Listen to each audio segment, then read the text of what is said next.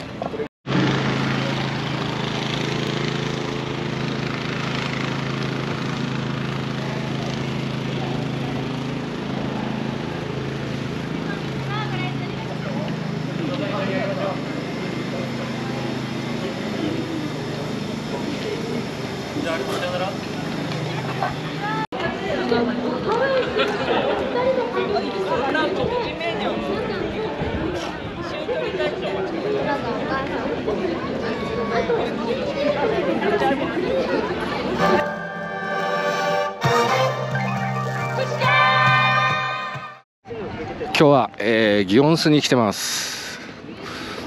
祇園スといえば相模原。決して町田ではないという人もいるようです。レッツゴー相模原 Thank you. Go, go. こんにちは。久しぶり相模マスクです。相模マスクさん最近見てなかったんですけど何してたんですか？ちょっとメキシコの方に修行に行ってましたなるほど。で今日は久々のじゃあ参戦ということで。そうです。はい。えーと今年の相模原について一言いただけますか？最高です。今年面白いですよ。去年のチームをベースにして、えーせ新戦力が来てますのでかなり期待です。できます。あとクラブの方もかなり、えー、とイベントだったりだとか、えー催し物を増やしているのでぜひあの試合だけじゃなくても楽しめると思います。来て来て来て来て。ちなみにまあビヨンスはこうスタグルもいいし楽しいんですけど、まあ、これ改善してほしいなみたいなの何かありますか？改善。やっぱちょっと駅から遠いですよね。駅から遠い。シャトルバスも少ないしあとはあの駐車場問題はかなりいつも深刻です。まあそういういろいろ問題があって新スタジアムなんていう話もあるんですけれども新スタジアムどうですか？話は進んでるんですか？うーんまあ正直。